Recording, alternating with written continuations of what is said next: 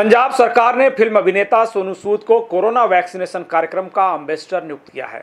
कल सोनू सूद ने पंजाब के मुख्यमंत्री कैप्टन अमरिंदर सिंह से मुलाकात की थी, जिसके एक दिन बाद सीएम अमरिंदर सिंह ने सोनू सूद को अपना एम्बेसडर बनाए जाने की घोषणा की।